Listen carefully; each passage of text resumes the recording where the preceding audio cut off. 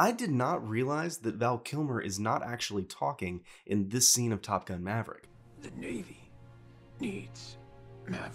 Kilmer's throat cancer has sadly taken his ability to speak, so the production used a voice replicating AI to recreate his voice. He simply had to move his lips, and the AI was used to dub in his lines later. Kilmer's daughter said the technology that gave her dad a voice again was just as impressive as everything else in the film, and I'd agree. Maybe AIs can be used for good.